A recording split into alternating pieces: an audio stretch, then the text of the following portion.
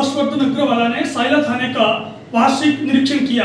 वही थाने की सारी व्यवस्था देखकर आवश्यक दिशा निर्देश भी दिए। हमारे साथ हैं एसपी हर्षवर्धन अग्रवाला।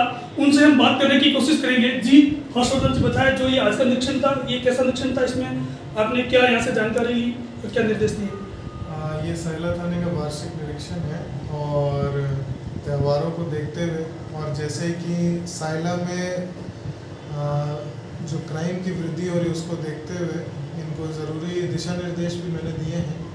इनकी कार्य प्रणाली को ये कैसे और अच्छा कर सकते हैं, जिसके वजह से जो बेसिक क्राइम्स हो रहे जैसे कि चोरी न कब्जे उसको हम कैसे और बेहतर तरीके से जल्दी खुलासा करें, और जो बढ़ता हुआ क्राइम का जो ग्राफ है यहाँ का, उसको हम कैसे नियंत्रित कर सकते हैं, ताकि क्राइम होने से पहले ही हम उनको रोकने का प्रयास कर सकते हैं। जो चोरी की दो वारदातें बड़ी हुई है, उसको लेकर आपकी तरफ़ से विशेष क्या प्रयास रहेगा? चोरी की अभी कुछ बड़ी वारदातें यहाँ पर हुई हैं। लूट की भी वारदात यहाँ पर हुई थी एटीएम की।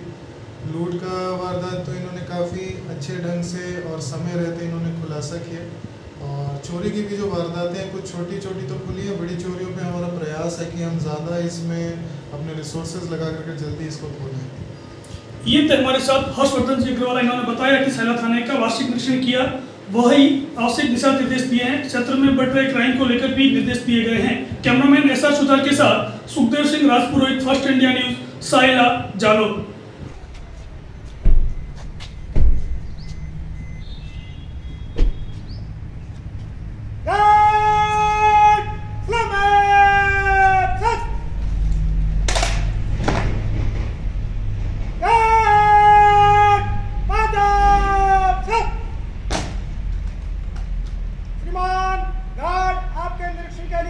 it up.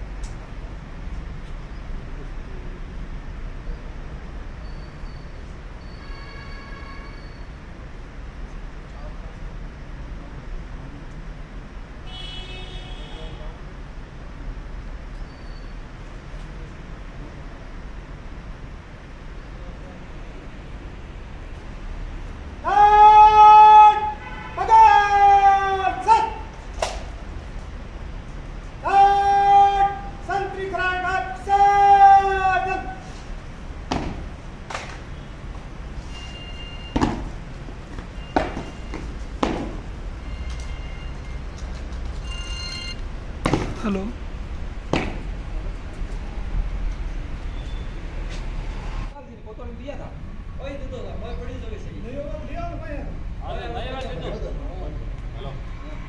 पहले आप कहते तो हमारा